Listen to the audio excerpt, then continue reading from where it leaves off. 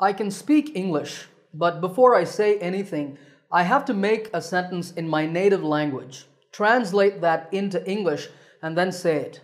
I feel like I'm not speaking fluently because of this. That is one of the most common complaints I hear from my students. So in this lesson, I'm going to teach you three exercises that will help you to stop translating in your head. These exercises will make you think 100% in English and speak fluently without hesitation. So let's jump right into it.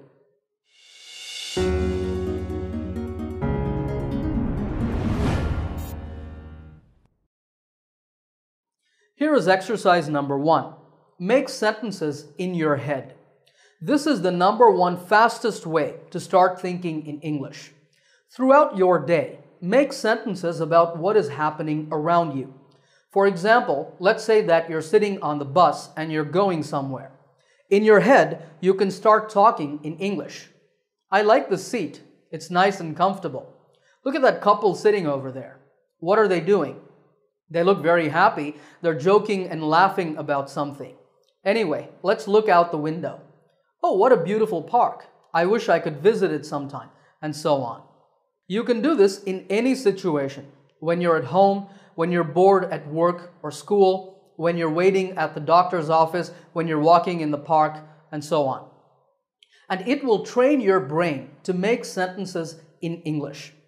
Now, while you are doing this, if you start translating, it's okay. Don't get disappointed because as you keep practicing, you will collect more and more sentences for everyday situations. And over time, you will translate less. Remember to do this exercise many times every day. Make it a habit to regularly make sentences in your head. Exercise number two is prepare sentences for conversations.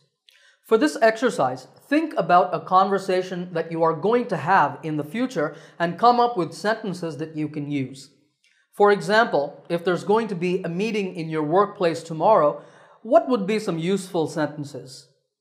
Well, if you're going to present an idea to your colleagues, you might say, I strongly believe this will help our sales.